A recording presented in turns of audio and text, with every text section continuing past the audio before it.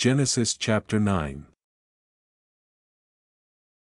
And God blessed Noah and his sons, and said unto them, Be fruitful, and multiply, and replenish the earth.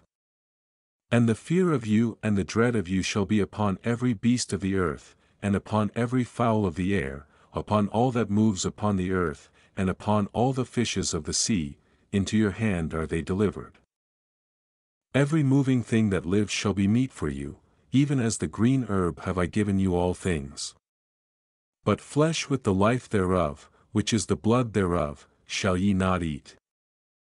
And surely your blood of your lives will I require, at the hand of every beast will I require it, and at the hand of man, at the hand of every man's brother will I require the life of man.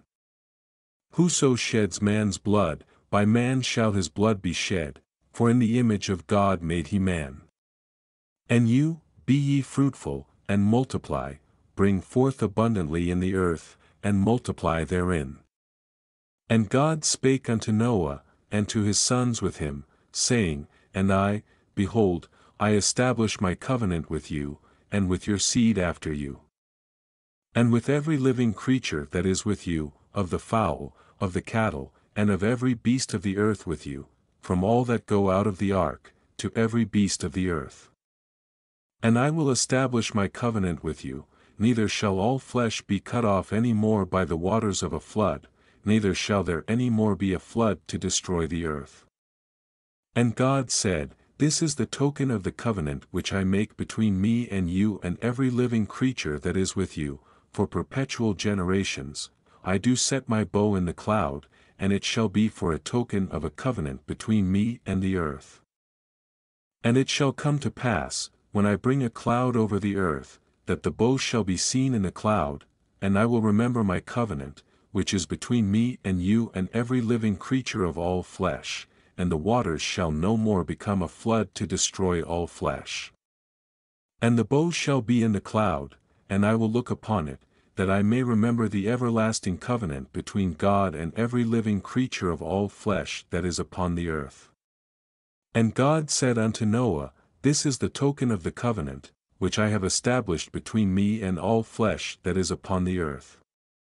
And the sons of Noah, that went forth of the ark, were Shem, and Ham, and Japheth, and Ham is the father of Canaan. These are the three sons of Noah, and of them was the whole earth overspread. And Noah began to be an husbandman, and he planted a vineyard. And he drank of the wine, and was drunken, and he was uncovered within his tent. And Ham, the father of Canaan, saw the nakedness of his father, and told his two brethren without. And Shem and Japheth took a garment, and laid it upon both their shoulders, and went backward, and covered the nakedness of their father, and their faces were backward, and they saw not their father's nakedness. And Noah awoke from his wine, and knew what his younger son had done unto him. And he said, Cursed be Canaan, a servant of servants shall he be unto his brethren. And he said, Blessed be the Lord God of Shem, and Canaan shall be his servant. God shall enlarge Japheth, and he shall dwell in the tents of Shem, and Canaan shall be his servant. And Noah lived after the flood three hundred and fifty years. And all the days of Noah were nine hundred and fifty years, and he died.